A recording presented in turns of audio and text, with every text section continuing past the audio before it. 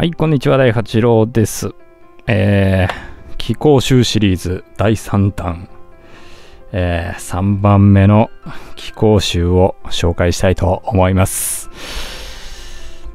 はい、また読めないシリーズです。皆さんこちら読めますか？そもそもこの漢字なんか見たことないんじゃないでしょうかね。ただ、水古伝を読まれてる方は知ってるかもしれないですね。では中身を開けていきます。はい、中身はこんな感じです。まあ今までの3体と同じように入ってますが、これまた不気味な色で顔が今回は青ですね。3番目。で、えー、はい。奥には武器と今度は槍ですかね。槍と鎌ですかね。と台座が入ってます。では中身を出していきます。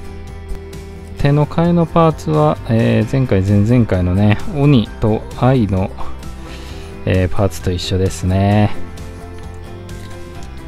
で紐は今度は赤です。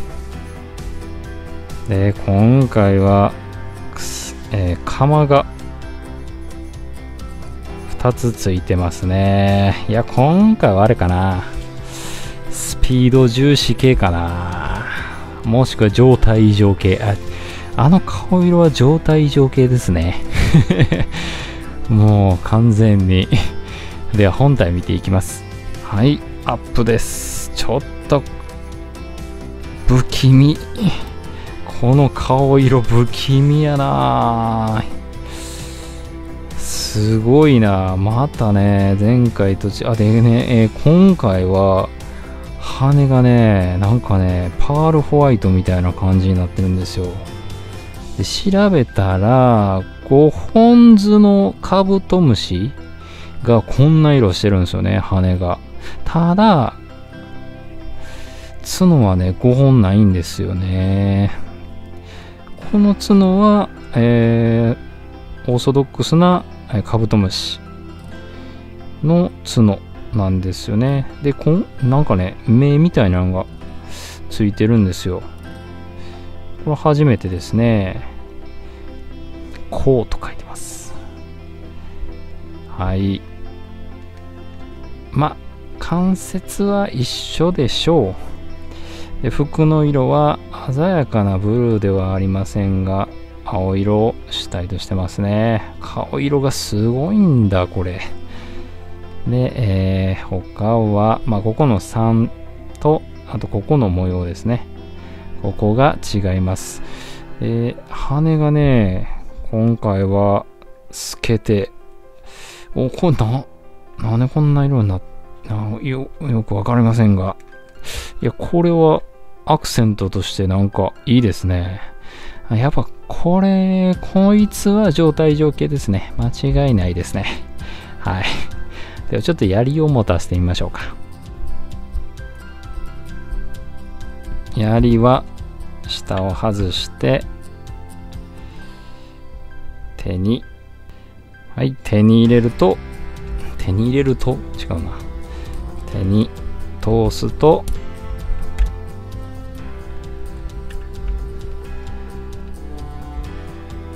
はいこんな感じですね。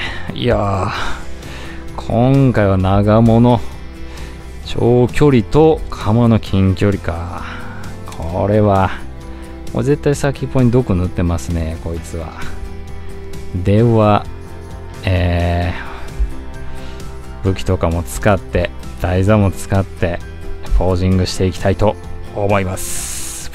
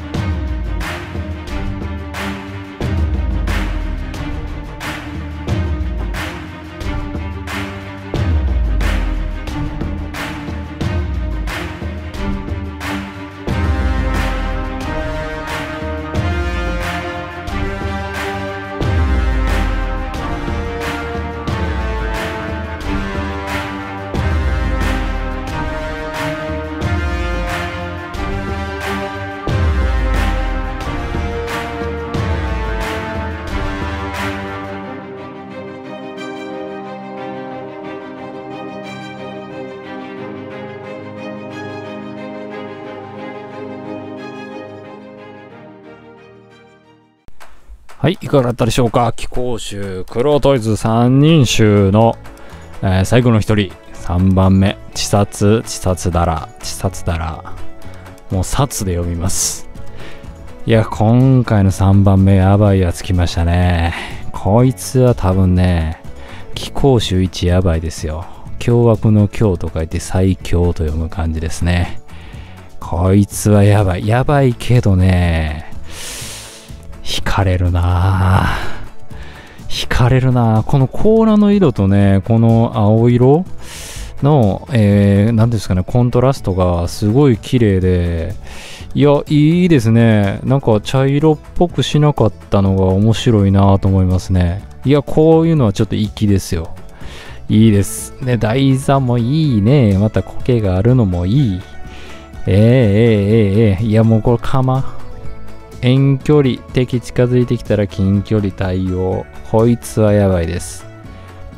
いやー、絶対やばいやつですけど、めちゃくちゃかっこいいですね。いやー、こあととりあえず、えー3体並べてみます。いかがですか？めちゃくちゃかっこよくないですか？3体並ぶともうかっこよさ増し増し、もりもり、もりもり。えー、めちゃくちゃかっこいいですね。3体購入するときちょっとセットにするか迷ったんですね。もう1体だけでとりあえず様子見ようかなとか思ったんですけど、3体セット購入してよかったっすね。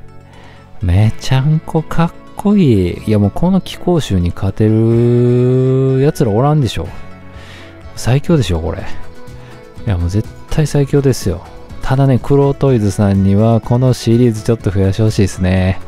気候集とこのライバル関係とかね、え敵対する勢力で違う、まあ、虫の種類を使って、えーこんな感じのフィギュアをね、いやで、ぜひともシリーズ化していってほしいですね。いやー、かっこいいわ。ちなみに、一番はやっぱり、愛ですかね。愛、鬼、えー、殺。いや、もうこの二つもね、かっこいいんですけど、これ、かな皆さんはどれが気に入ったでしょうかね。いや、ぜひともクロートイズさんのね、フィギュアは今後注目して見ていきたいなと思いますね。はい。はい。では今回、えー、気候集三段構えの動画になりましたが、えーご視聴ありがとうございました。それではまたよろしくお願いします。